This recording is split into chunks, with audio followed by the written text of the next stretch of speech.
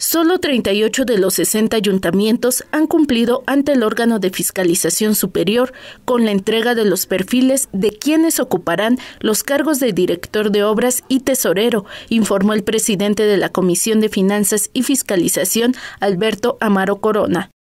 Estuvo analizando el tema de los directores de obras y los tesoreros. ¿sí?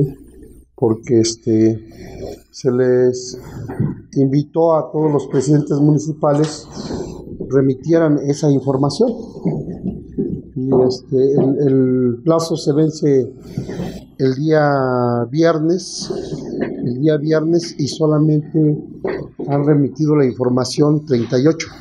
Y si no existe alguna inhabilitación de parte de algún tesorero o algún director de obras, pero su historial es malo, ya será, será responsabilidad de cada, de cada presidente municipal.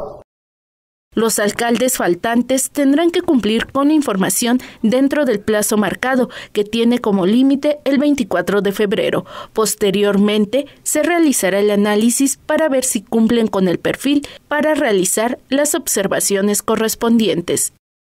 Si no, si no cumplen, por supuesto que tendrá que haber mm, la observación hacia el presidente municipal de que el tesorero no está cumpliendo.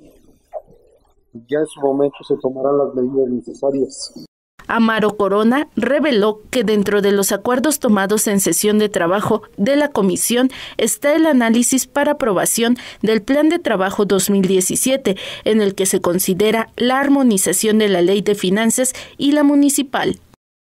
Pues todo lo que es la, la fiscalización, la transparencia, la buena aplicación de la ley, los antecedentes que existen de las anteriores legislaturas, de las, de las anteriores administraciones, tanto municipales como gubernamentales, como los entes descentralizados, todo.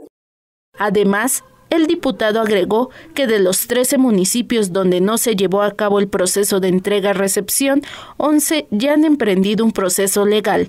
Para Sistema de Noticias, Diana Zampolteca.